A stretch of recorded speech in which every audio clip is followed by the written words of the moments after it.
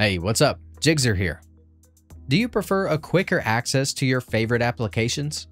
The desktop in Windows 11 offers a customizable space specifically designed for that purpose. In this video, I will guide you through the process of adding your most used apps to your Windows 11 desktop for instant access whenever you need them. Let's go.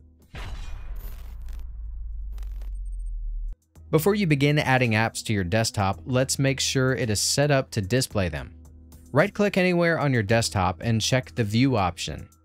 If Show Desktop Icons isn't already selected, click on it to ensure your icons are visible.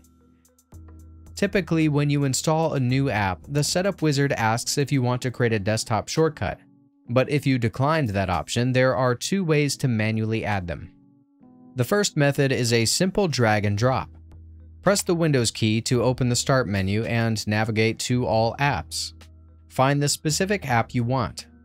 Then hold and drag it all the way down to your desktop screen. Once added, you can move it anywhere on your desktop to organize the app placements. There is another way to add applications manually, which is to create a shortcut yourself. Right-click anywhere on your desktop. Select New, and go to Shortcut. Next, click on the Browse button and navigate through File Explorer. Typically, apps are stored in your C drive in the Program Files folder. Find the specific apps folder.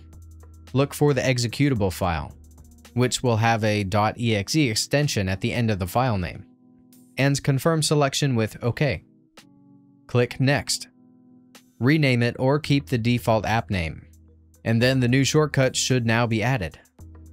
Remember, when you delete a shortcut from your desktop, you are only removing it, not the application itself. That's it. If I could help you, feel free to give this video a thumbs up and don't forget to subscribe. Leave a comment down below if you have any questions. See you next time. Bye.